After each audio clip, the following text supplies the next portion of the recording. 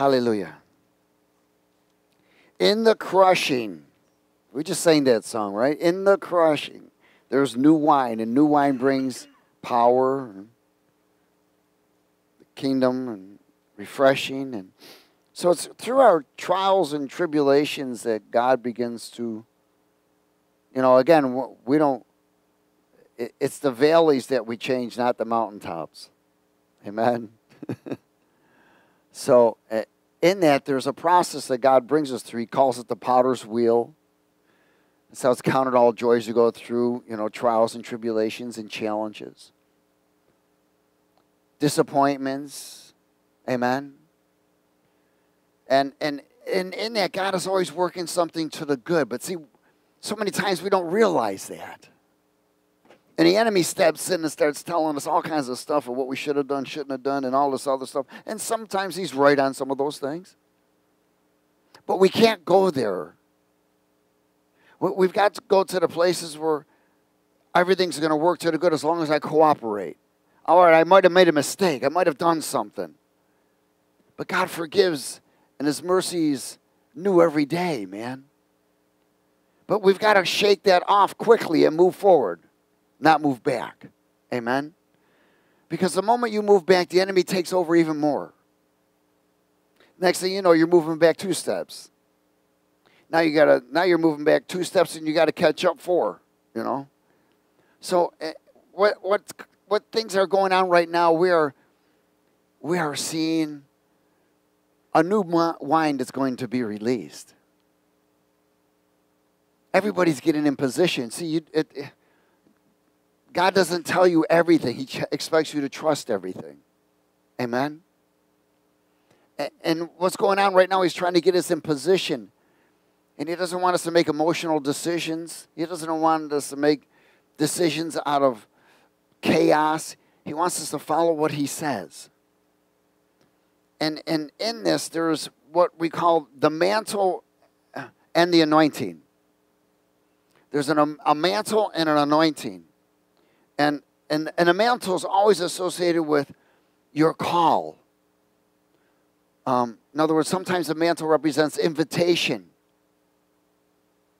When you are when you're associated with every ministry and, and, and, and has a mantle and anointing, and it's for a specific function and purpose. When God calls something to be done, He anoints it so it can be handled. That's why you might go to places and, and they'll say, Well, who's your covering? In other words, who are you covered under? Well, that covering is associated as mantle. So when you're associated with this house, you're covered under the mantle. Does everybody understand that? And God releases an anointing so you can fulfill that call and purpose. In the First Kings in uh, uh chapter 19, hallelujah and we've we've gone over some of this stuff already, but I, I just think we need a refreshing because we're, we're getting ready to get into. Hallelujah. 1 Kings 19 and verse 15.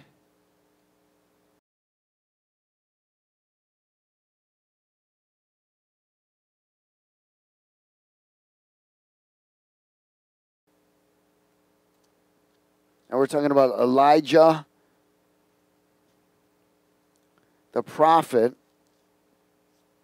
who the Lord called and he said, Listen, I need you to go anoint some individuals. He's going to anoint two kings and a prophet. And in verse 15, would you read it with me? Then the Lord said to him, He said, Go return to on your way to the wilderness of Damascus. And when you arrive, anoint Hazael as king over Syria. Also, you will anoint Jehu, the son of Nimshi, or as king over Israel. And Elijah, the son of Shaphat of Abel Meholah, you shall anoint as prophet in your place. It shall be that whoever escapes the sword of Hazael, Jehu will kill and whoever escapes the sword of Jehu, Elisha will kill. Yet I have reserved 7,000 in Israel, all whose knees have not bowed to Baal. and every mouth that has not kissed him. So he departed from there, and he found Elisha, the son of Japhet, who was plowing with twelve yoke of oxen before him. And he and and and and, and he was with the twelve. Then Elijah passed by and threw his what? Mantle on him. In other words, his call, his invitation. And he left the oxen and um, he left the oxen and ran after Elijah and said, Please let me kiss my father and my mother, then I will follow you. And he said to him, Go back again, for what have I done to you? In other words, he just got invited to serve God. Does everybody understand it? What have I done to you? So Elisha turned back from him and took a yoke of oxen and slaughtered them and boiled their flesh using the oxen's equipment and gave it to the people. They ate. Then he arose and he followed Elijah and became his what? His servant. So when the, he threw the mantle on him, he was saying, look at invitation. Invitation to fulfill a purpose. Now, when he went to him, he, he was soulish at first. He said, Look at, let me go kiss mom and dad goodbye, and you know, let me take care of my house and whatever. and and it was offensive to him. Why? Because how could you allow your family and all of the things according to the world's standard compared to what God's call is? Does everybody understand that? There was no comparison. And also because he had 12 oxen, his family was wealthy.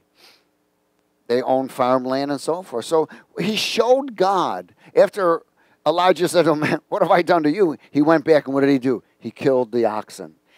He used the plow as a, a fire and offered it up. And then he went and followed.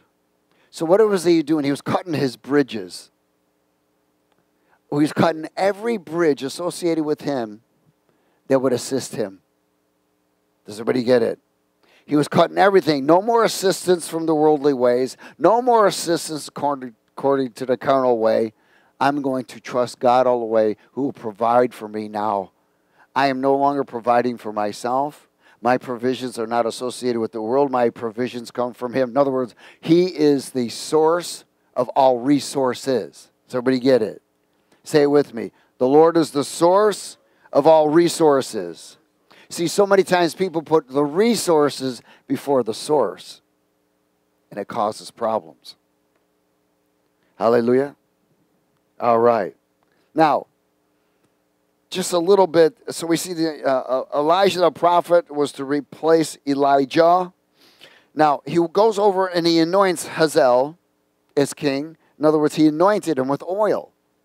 He goes over and anoints Jehu with oil. But he throws the mantle on Elijah. Elisha. Does everybody get it? In other words, that mantle was a point of contact. It's a point of what? Contact. And in that point of contact, it's a point of contact to God's voice and access to heavenly kingdom. Now, before the activation, I call this the activation process. Even though God calls you to certain things, he first has to bring you through the process before he releases you. Amen? If you go before you are sent, you've left the mantle. You've walked away from it. Does everybody get it? When God brings you to the process of training for reigning and, and then sends you the mantles, He's sending you with the mantle, which is the connect. When you leave without the mantle, you're on your own. Does everybody get it? In other words, you're no longer covered in that anointing for that purpose. Is everybody okay? All right. Second, King, King, Second Kings chapter 2.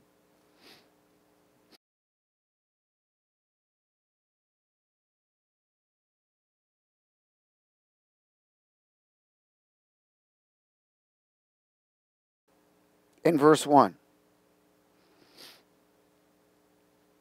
Everybody there? Anybody there? Praise God. Let's speak this together. Now it came to pass when the Lord was about to take up Elijah into heaven by a whirlwind that Elijah went with Elisha from Gilgal. Now, Gilgal is a place, you know, where there's sacrifice offerings, we call it the place of denial of self or death. Does everybody understand? So he's going to bring Elisha to the three chambers of the tabernacle. Remember, everything revolves around the tabernacle. Amen? And the feast. Okay. So Elijah said to Elisha, Stay here, please, for the Lord has sent me to Bethel. But Elijah uh, said to, As the Lord lives, and as your soul lives, I will not leave you. So they went down to Bethel. Now, Bethel is associated with a place of house. Amen. Like Bethlehem, house of bread. It's, it's also known as the place where we have uh, battle. It's a place of battle. Remember, the first chamber is of what? Deny yourself. Second is associated with battle. Amen. Where there's a priesthood. So they did worship, but they battled spiritually there. It was a spiritual battle. So Gilgal was a representation of denial of self. Bethel was a, uh, associated with the spiritual battle. Hallelujah. And he says, As the Lord li- lives, I will not leave you. So they went down to Bethel. Now the sons of the prophets who were at Bethel came out to Elisha and said to him, Do you know that your Lord will take away will take away your master from over you today? And the master from over you today, and he said, Yes, I know. What did he tell him? Keep quiet. No, shut up, man. I don't need to hear this. What was he doing? He was shutting down any distractions, any voices from anywhere else that was trying to mislead him. Amen. In verse 4, then Elijah said to him, Elisha, stay here, please, for the Lord has sent me unto Jericho. But he said, As the Lord lives and as your soul lives, I will not leave you. So they came to Jericho. Now, Jericho was the place where they the walls came down. Amen. and, and the, Jericho is known as access granted.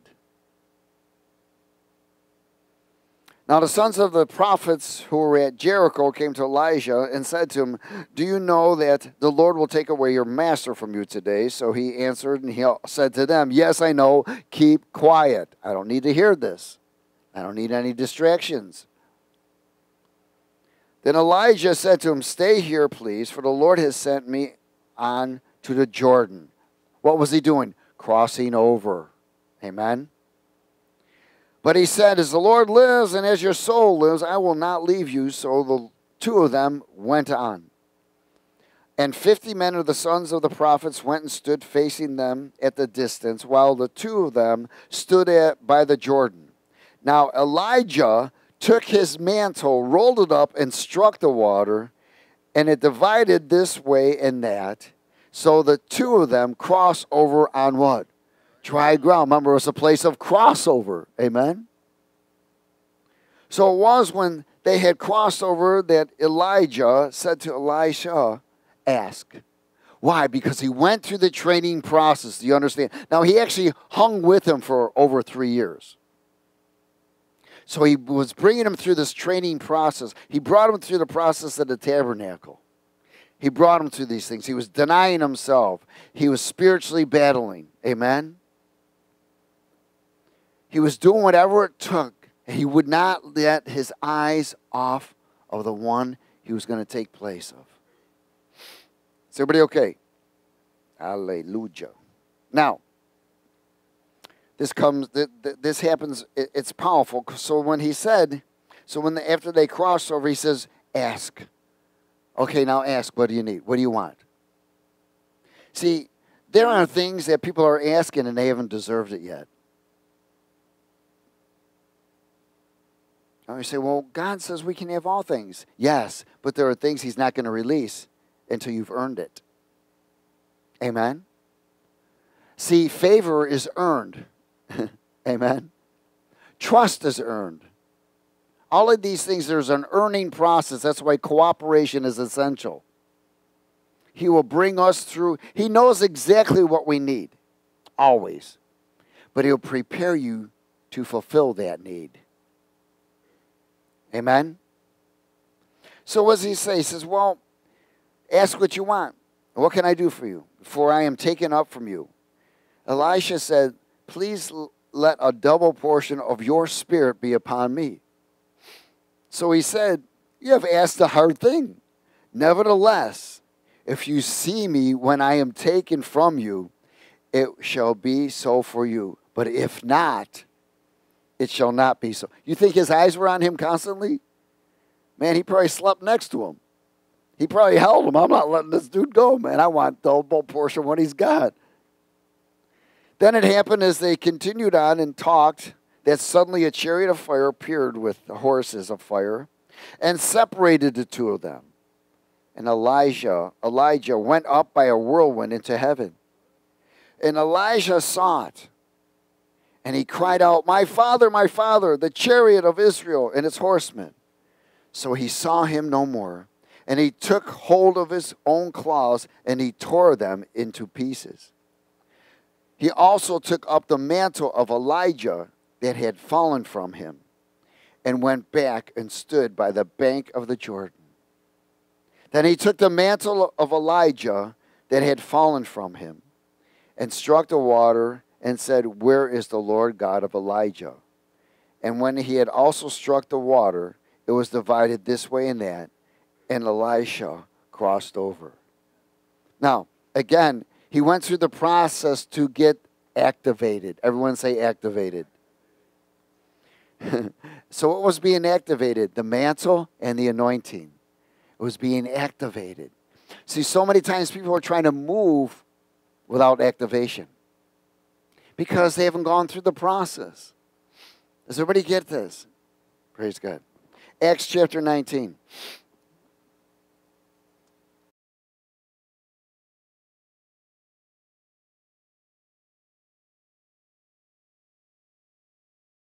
Acts 19, verse 11. Let's speak it. Now, God worked unusual miracles by the hands of Paul, so that even handkerchiefs or aprons were brought from his body to the sick, and the diseases left them, and evil spirits went out of them. Now, the handkerchiefs and aprons were mantles, they were a point of contact. Does everybody understand it? But it wasn't about what was it for? It was a point of contact for what? Healing and deliverance was bringing God's what? Anointing. Amen. It was bringing God's what? Anointing. Amen. And um,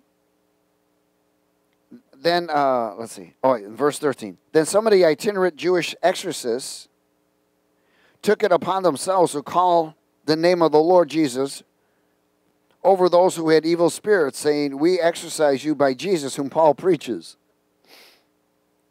Did they have the anointing? Did they have the mantle? No. They had no covering, did they? Also, there was seven sons of Sceva, a Jewish chief priest, who did so. And the seventh spirit, and the evil spirit answered and said, Jesus I know, and Paul I know, but who are you? Then the man in whom the evil spirit was leaped on them, overpowered them, prevailed against them, so that they fled out of the house naked and wounded. These demons kicked their butt, trying to imitate Jesus. Amen. And this became known both to all Jews and Greeks dwelling in Ephesus. and fear fell on them, and the name of the Lord was magnified. Again, the man called the man, mantle uh, called to be activated to fulfill the calling and the anointing. The mantle here was a point of contact to the anointing as handkerchiefs and aprons went out. Again, the mantle represents a cover or, or, backing from heaven and a point of contact. And we notice that the mantle was always used in the Old Testament. Amen. You don't see it so much in the New Testament because now it's understood that the mantle is also associated with the anointing together now. But at one time it was separated. But there's still a spiritual mantle for me and you. There's still a spiritual mantle. And in that, it is our covering. Amen. Now we know that the Holy Spirit is the eternal keeper of all things. But see, you can have you can have the Holy Spirit in you but not be baptized with the Holy Spirit yet. There's a difference. Amen. Because see, there's the Holy Spirit that comes upon you in the baptism for service. To serve God. And when that mantle comes or that anointing comes, you know it, and it's to serve God. But when it doesn't come, you don't want to lay hands on someone because then you're doing it in the flesh. Is everybody okay? Now, it doesn't mean you, can, you can't pray with someone. Amen. But you don't have to lay hands on someone to pray for someone. Hallelujah. Praise God. So the anointing in the New Testament is through the price of Christ and his blood. We are we are we now carry the mantle and the anointing together through the blood of Jesus Christ. In Exodus 28,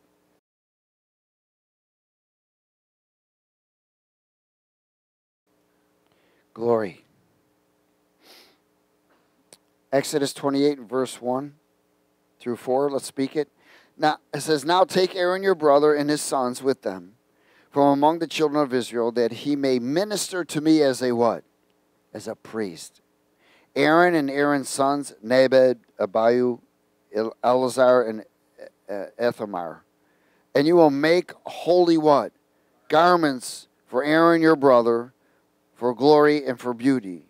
And you shall speak to all who are gifted artisans, whom I have filled with the spirit of wisdom, that they make Aaron's garments, to consecrate him that he may minister to me as a priest. And these are the garments which they shall make a breastplate, an ephod, a robe, skillfully woven tunic, turban, hash, sash, so that they shall make holy garments for Aaron your brother and his sons, and that they may minister to me. These are priestly garments. These garments are also known as a mantle. Somebody get it? the mantle of anointing to minister to the Lord, also known as the second chamber of the tabernacle, because the second chamber of the tabernacle is called the priestly anointing. The first chamber is the salvation anointing. Amen. Then you have the third chamber, which is the kingly anointing or warrior anointing. In Isaiah 61:10,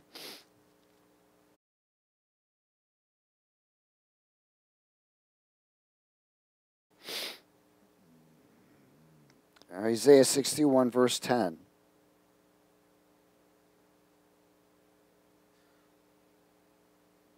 Is everybody there? Hallelujah. Let's speak it together. The Spirit of the Lord God is upon me. Is anybody there? 61. 6110? Oh, 6110. Sorry. I'm in verse 1. Sorry. I needed a zero there. 6110. Let's go. I will greatly rejoice in the Lord. My soul shall be joyful in my God, for he has clothed me with the gar- garments of what? What chamber is that? Outer court. Amen. Praise God. He has covered me with the robe of righteousness, as a bridegroom decks himself with ornaments, as a bride adorns herself with her jewels. For as the earth brings forth its bud, as the garden causes the things that are sown in it to spring forth, so the Lord God will cause righteousness and praise to spring forth before all the nations. Again, we see here the garment of salvation, which is the mantle of salvation, the first chamber. And Luke chapter 4.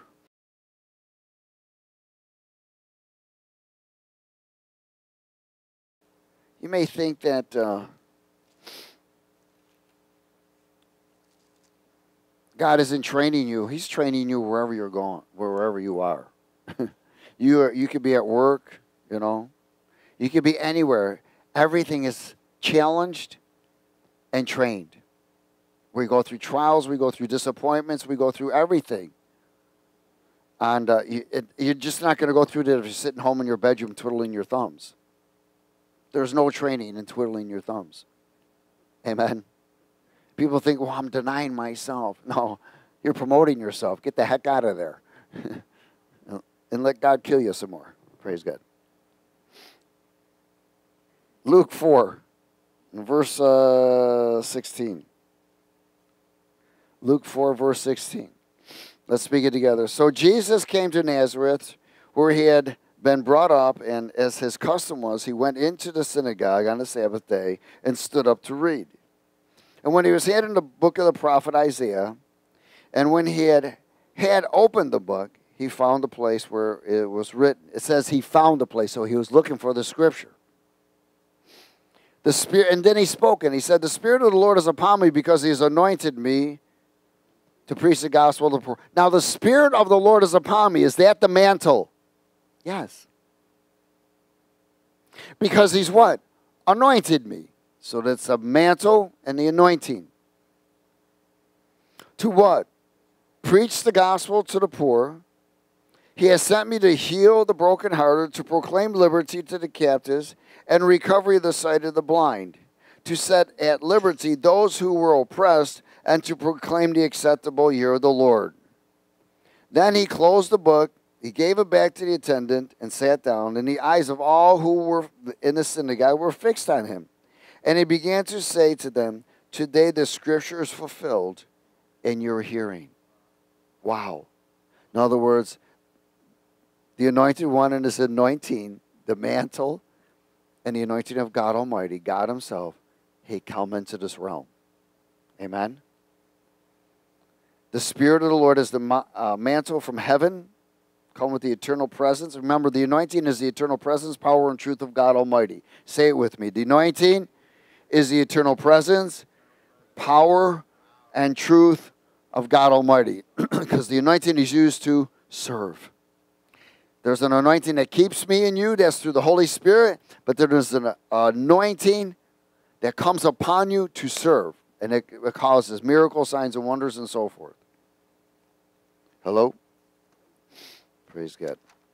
In Isaiah 61, let's try this again.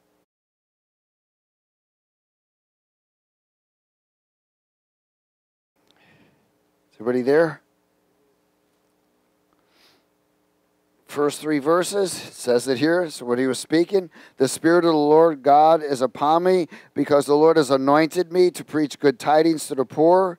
He has sent me to heal the brokenhearted, proclaim liberty to the captives, and the opening of the prison to those who are bound, to proclaim the acceptable year of the Lord. Now he goes further. Isaiah prophesies further on this and the day of vengeance of our God, to comfort all who mourn, to console those who mourn in Zion, to give them beauty for ashes, the oil of joy for mourning, the garment of praise for the spirit of heaviness, that they may be called trees of what? Righteousness, the planting of the Lord, that he may be what? Glorified. So remember, trees associated with your a spirit, so that we may be spirits of what? Righteousness. Amen. Is everybody okay? This is the mantle, the anointing. Isaiah 10.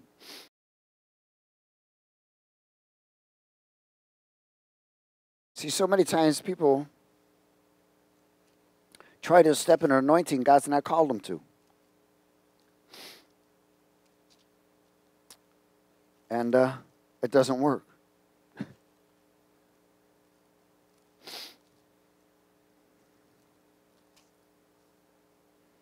In verse 27,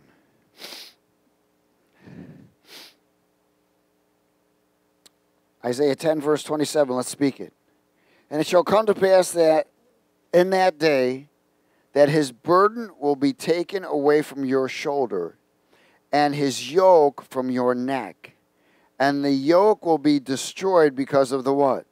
The anointing oil, or what we call the, the yoke destroying anointing. It destroys, breaks every yoke of bondage. You remember the oil? Again, we called the anointing oil here is the point of contact. Amen. Jesus, now think about this. Jesus was wrapped and we talked about this the other day. Jesus was wrapped in swaddling clothes, right? Cloths to be preserved because of the blemish-free lamb. Amen. It was what the same the priests used to, the shepherds did. They looked for that lamb that was blemish-free. They would take, their wrap it, make sure it stayed blemish. And it wasn't put in a manger; it was put in a trough, a trough, you know. And the same, that same wrapping for Jesus was the anoint, the mantle. Does everybody get this? he was God wrapped him. He was it was the mantle. It was his call and purpose that he was going to fulfill. Remember when he was brought in to be circumcised, and the prophet came and spoke about to Mary and said that you know there would be a sword that would pierce your heart. He spoke all of these things, but Jesus was protected because he was covered by the what? The mantle. The mantle of God. Amen. Now, Jesus was wrapped the mantle covered by heaven to, to break all, all those who were in bondage of darkness. And we, set, we spoke it right here. To open up the prison doors and so forth. Why? Because the only way to break it is with the anointing of Christ, which is the presence and power and truth of God Almighty, the anointing. Each office in the body and ministry has a spe- special mantle, specific one, and anointing. In other words, you know, when somebody, I, and I've shared this already before, you know, sometimes somebody goes, well, who's your covering? Who's your covering? You know, I, I had no covering at first because I wasn't, I wasn't involved in a church. I had a visitation from the Lord. So said, somebody said to me, Who's your covering? I said, Jesus. Of course, He's all of our coverings. Amen. But people are really not covered until they're covered. So when you become a Christian, you want to get into that place where you are covered. And then when the anointing, the mantle comes upon you, you are covered by the throne of God. And the anointing is out to fulfill the calling and purpose with power, the presence of God, and the truth of God. We're no longer doing things according to the way we want to do them. We're no longer doing things according to the carnal. We're doing things according to the Spirit. We're being led by the Spirit to fulfill the mantle calling. We're covered, we're protected, we're connected. Now the anointing is carrying us to whatever we need to do. Does everybody get this? Cool. All right. I'm telling you, we're entering a whole nother season coming. I really believe that through the crushing, I mean, look at what the whole world's going through. So God's got his hand on the world going. Probably playing basketball with it. I don't know. Yeah. But things are changing. The whole world is under distress. The whole world's gone nuts. Except for those that are covered. When you're covered, there's no problem, man. Amen. When you're covered, there's no problem. It's so be it. What do you want me to do, Lord? Hallelujah. But I really believe in this crushing and changing, there is going to be that early and latter rain, that new wine is coming out with more kingdom, more power, more unity, and more destruction of Satan's kingdom. Because the only thing that can destroy Satan's kingdom is the anointing. Hebrews chapter 10.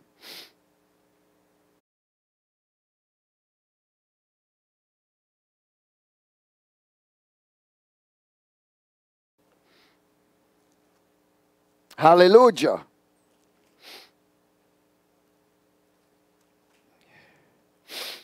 Hebrews 10 and verse 26.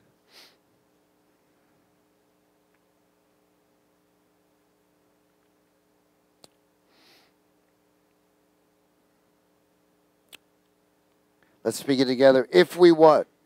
If we sin willfully after we have received the knowledge of the truth, there no longer remains a sacrifice or a what? Covering. Does everybody see this? There no longer remains a covering. If there's no more sacrifice for sin, there's no more covering. Amen? Somebody who willfully sins, that covering, that mantle is lifted. 27. But a certain fearful what?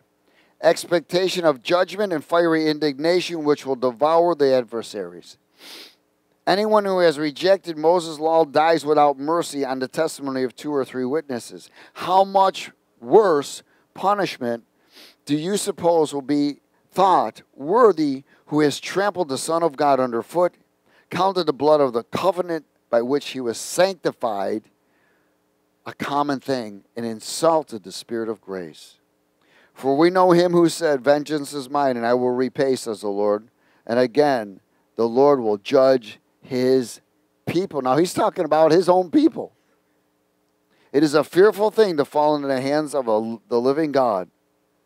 But recall the former days in which you were illuminated.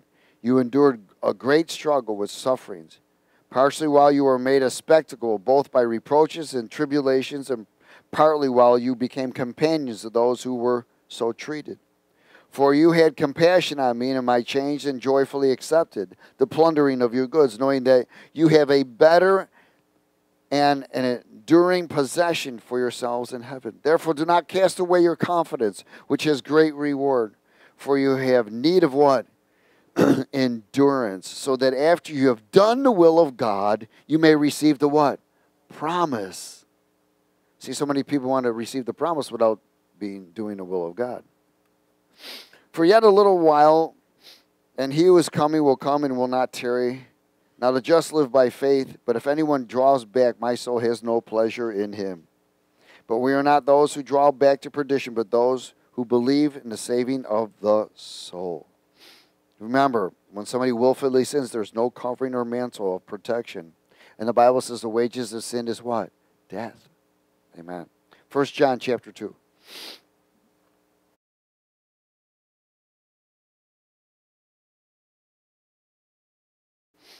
Is rebellion sin? Does rebellion bring a curse? Yes, so does sin. 1 John 15. 1 John chapter 2, 15. Glory. Let's speak it. Do not love the world or the things in the world. If anyone loves the world, the love of the Father is not in him. For all that is in the world, the lust of the flesh, the lust of the eyes, and the pride of life is not of the Father, but is of the world.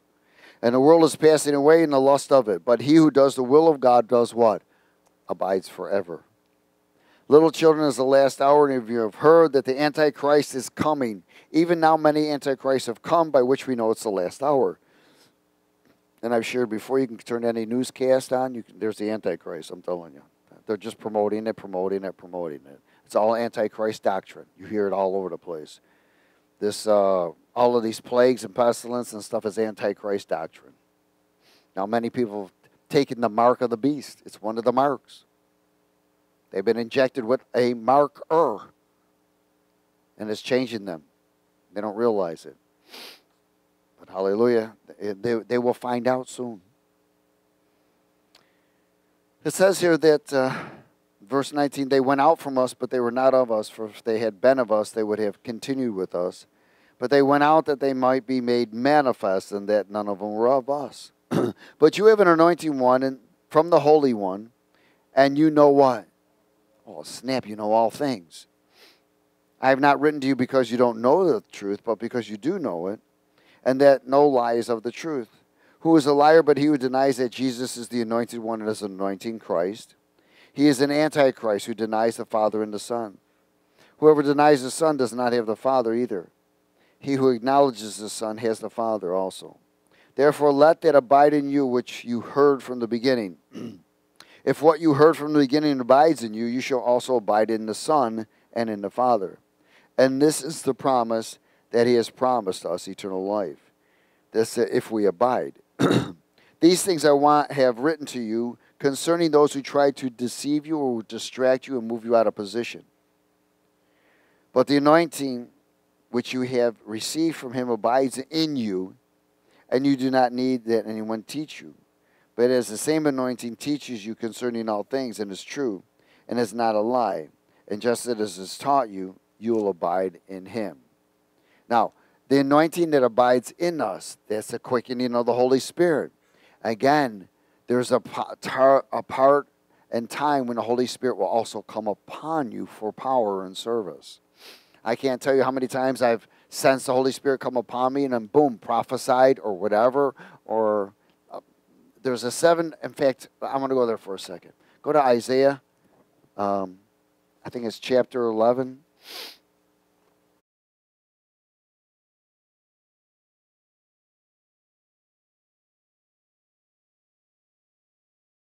Isaiah 11.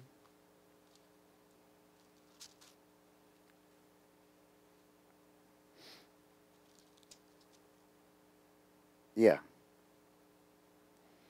In verse 1 and 2. And it says, There shall come forth a rod from the stem of Jesse, who is David's father. And a branch shall grow out of his roots, and the Spirit of the Lord shall rest upon him. Is that the mantle? Yes. The Spirit of what? Wisdom and understanding. The Spirit of counsel and might. The Spirit of knowledge and the fear of the Lord. These are the seven attributes of the Holy Spirit. I can tell you that I felt and, and, and, and people that were around me when this occurred, the fear of God came on them. I was, uh, uh I was, uh, I was young in the Lord, and and I was doing something, and I had to go into key, what's it called, Kiko's or Kinko's or whatever it is, a copy place. And so I went and ordered something, and I was walking in there to. Uh, I, I happened to go, and I got to the front. I was walking to the front door, and all of a sudden the Spirit of the Lord came up in me. The anointing came on. I thought, oh my gosh. And and I walked in there, and the place was kind of like shut down. They had a mini flood and and there were people sitting around a round table, like kind of like just talking and eating lunch. And uh, I went in there and asked, you know, do they have my order? And there was a person there that said some smart, wise remark. I didn't have to say a word. I'm telling you, I just stood there and I could sense the spirit of might that was so strong on me. When the person looked to me, looked at me, turned their head, and everyone at that table turned their heads. And I just turned around and walked out. Because I could have tore everybody out. I'm telling you, I could have thrown every single one of them out of that building. I could have pulled that building down if I had to. That's how powerful and strong the presence of God was. I left that place. When I walked out three steps after that, the anointing lifted, and I said, Dear God, Lord, I like that. Too bad it didn't come when I was playing football, you know? I could have ran through the goalpost.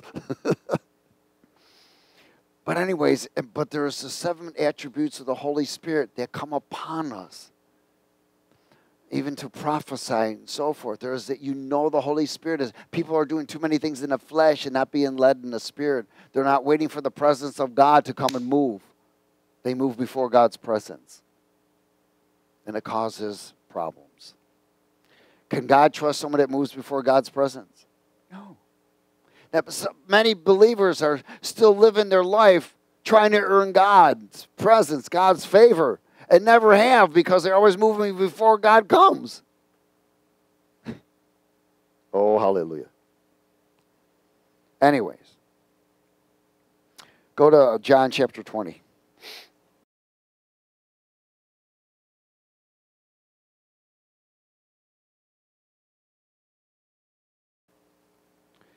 John 20.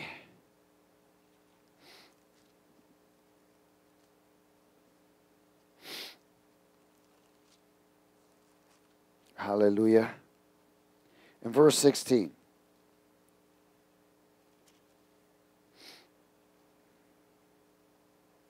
Now, Jesus raises from the dead.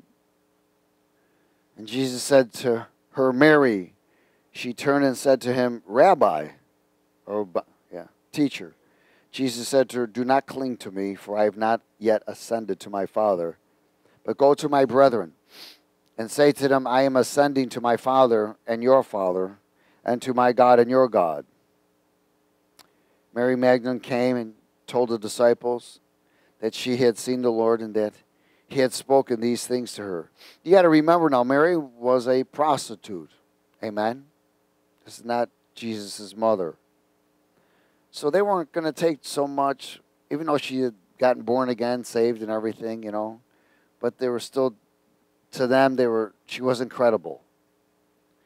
Then the same day at evening, being the first day of the week, when the doors were shut, where the disciples were assembled for fear of the Jews, Jesus came and stood in the midst. See, they were more fearful of the Jews than they were of the Roman Empire. For fear of the Jews, Jesus came and stood in the midst and said to them, Peace be with you. And when he had said this, he showed them his hands and his side. His disciples were glad when they had saw the Lord. And Jesus said to them again, Peace to you. As the Father has sent me, I also send you.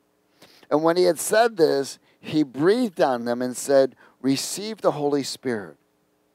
If you forgive the sins of any, they are forgiven them. If you retain the sins of any, they are retained. Now you got to remember, Jesus breathed the Holy Spirit. He was actually breathing the mantle on them to cover them. Because the Holy Spirit hadn't been poured out with the baptism for power. Does everybody understand it? In other words, the, the anoint, the mantle was coming first, then the anointing was coming. Does everybody got this? That's what Pentecost was. It was a release of the anointing. But Jesus breathed upon them the mantle. Is everybody okay? Hallelujah. Ephesians 4.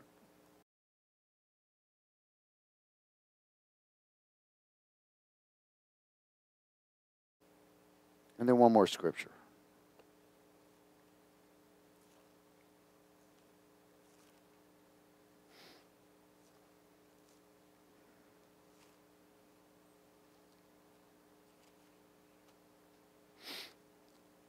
Ephesians 4, verse 25.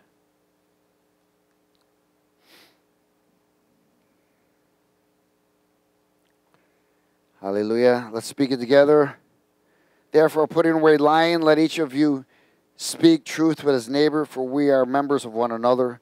Be angry and do not sin. Do not let the sun go down on your wrath, nor give place to the devil.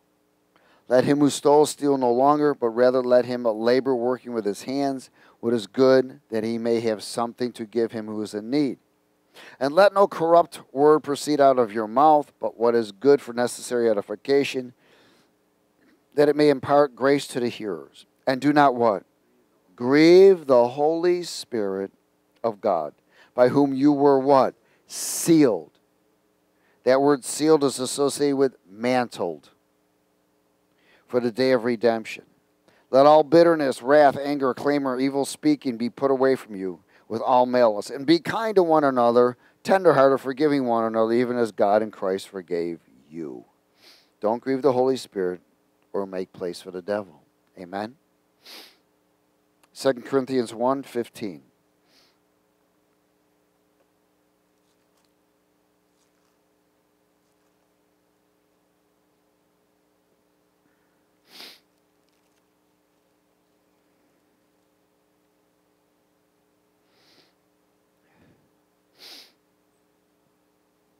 2 Corinthians 1, verse 15.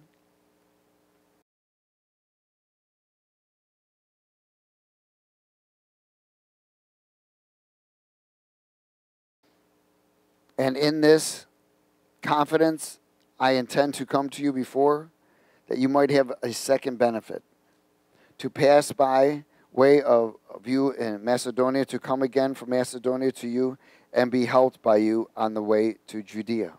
Therefore, when I also plan planning this, did I do it lightly, or the things I plan do I plan according to the flesh, that with me there should be yes, yes, and no, no.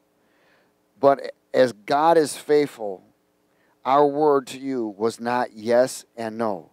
For the Son of God, Jesus Christ, who was preached among you by us, by me, Silvanus, and Timothy, was not yes and no, but in him yes.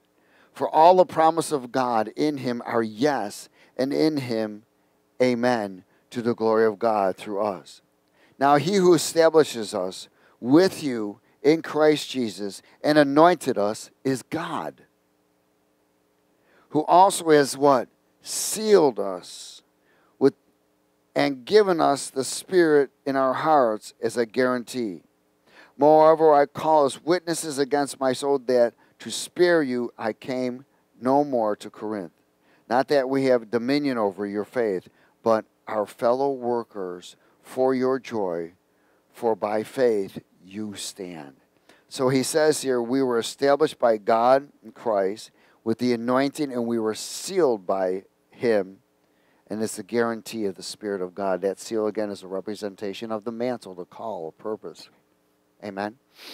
So we see that the mantle and the anointing, it's good to understand this. It's good to be covered. It's good to be protected.